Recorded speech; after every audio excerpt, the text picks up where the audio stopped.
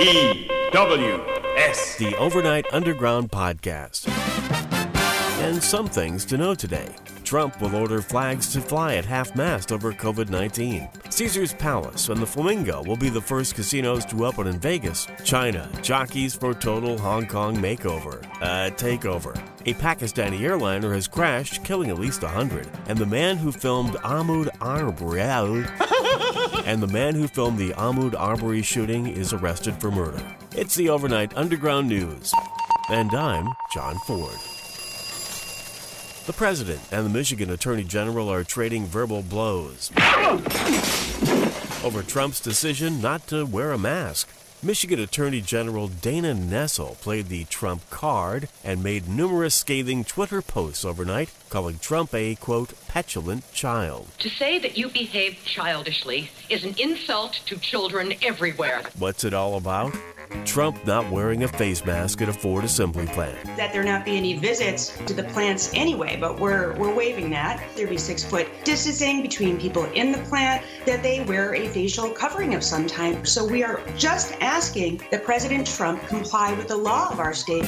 Michigan Attorney General Dana Nessel on CNN. Trump's response? He fired back in a tweet calling Nessel a quote, do nothing AG of the great state of Michigan. Honestly, I think they both sound like petulant children. Such is the state of the American political stage in the year of our Lord, 2020. Amen. What do you say? Let's slide this little item in, the soundbite of the day. It's none other than your president and mine, Bullwinkle J. Trump, responding to a reporter's question about his controversial hydroxychloroquine treatment to ward off COVID 19. The president said this and I tested very positively in a in another sense. So this morning, yeah, I tested positively toward negative, right? So no, I tested uh, perfectly this morning. Meaning, meaning I tested negative. I believe that's a definite maybe. I speak English very good now. Could it be that during the test, the nose swab rammed a little too far up the presidential snoot and caused more brain damage to the old executive noodle? Yes. Just saying. But wait, we've also got another contender for the soundbite of the day, and it's from none other than presumptive Democratic presidential nominee Joe Biden. Biden told African American radio host Charlemagne the God on a Friday morning interview that if someone is having difficulty choosing between him and Trump, then they, quote, ain't black. If you have a problem figuring out whether you're for me or Trump, and you ain't black. You know, I think that this one is better than the one from the other day. We have this notion that somehow if you're poor, you cannot do it. Poor kids are just as bright and just as talented as white kids. Yeah, it's a total race to the bottom with these two. Honestly, I think. We're boned. And Friday, President Trump played to his religious electorate and announced that his administration will deem houses of worship as essential businesses. Identifying houses of worship, churches, synagogue, and mosques as essential places that provide essential services.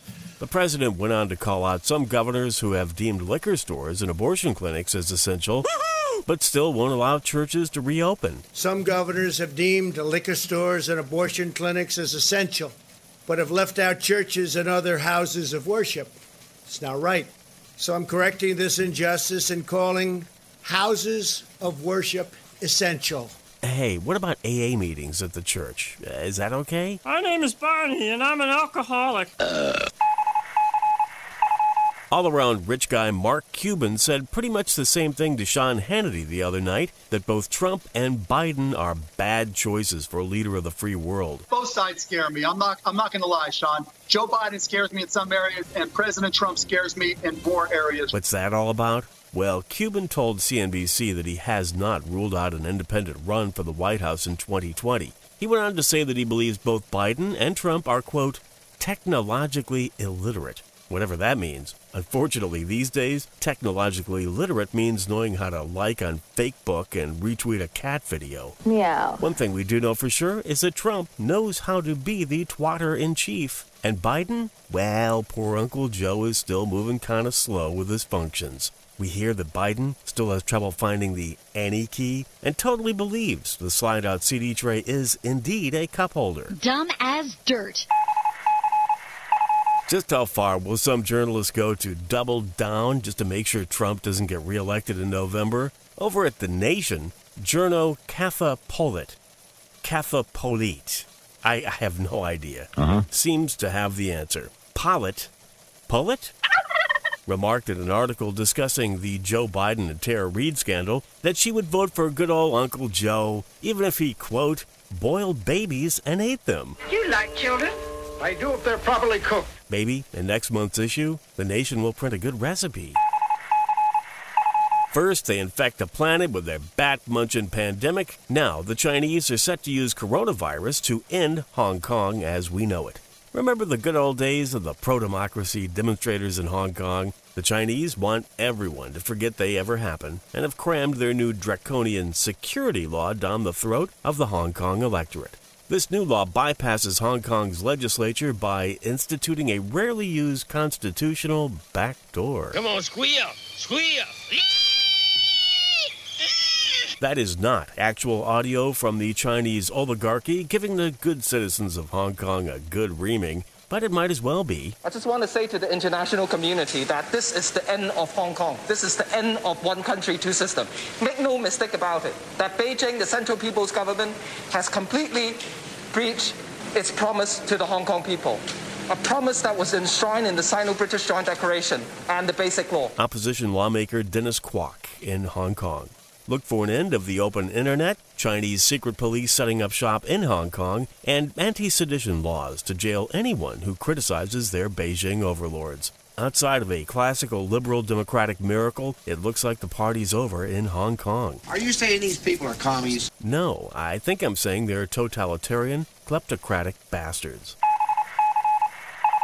The Georgia man who filmed the shooting and death of Ahmaud Arbery has himself been arrested on murder charges. USA Today reports William Roddy Bryan was charged with felony murder and criminal attempt to commit false imprisonment in Arbery's shooting death. Bryan had claimed he was only being a good Samaritan when he filmed Arbery's death, but a newly released expanded version of the video apparently shows Bryan also chasing Arbery. Bryan then allegedly filmed while Arbery was shot dead. And not all these people are lovely, nice people, believe me. Things are a little less fabulous in San Francisco today. The city's oldest gay bar, The Stud, is calling it a day. Oh, be nice! The bar owner told KRON TV that due to declining revenues caused by coronavirus, they've decided to permanently close down their location in the Soma neighborhood. Too bad the place had to go down. I hear that before the pandemic, it was usually packed. That's a little Joker. N E W S. A mostly correct and occasionally incomplete transcript and links to reference sources and articles of this Overnight Underground can be found at overnightunderground.com.